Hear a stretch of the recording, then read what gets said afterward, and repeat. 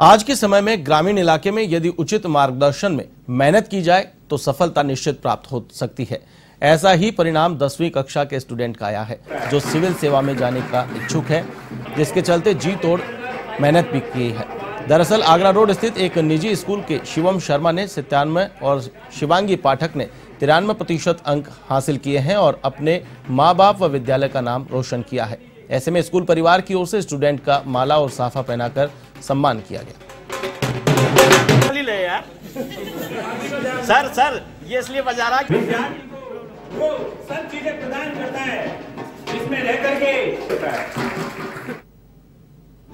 this is Shivam Sharma, student of Radhabal Bharti. Uh, scored 97 percentage tenth board examination और मैं इसका credit मेरे school को मेरे टीचर्स मेरे पेरेंट्स एंड मैं फ्रेंड सर्कल देना चाहूँगा। उन्होंने मुझे टेंथ की हर जर्नी में सपोर्ट किया एंड मोटिवेट किया।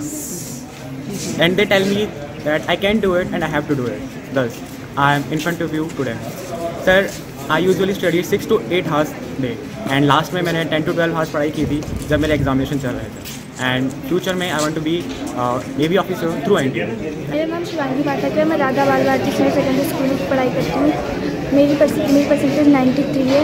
मेरी इस परसेंटेज के पीछे हमारे गुरुजन मेरे माता पिता और हमारे रिश्तेदारों का हाथ है।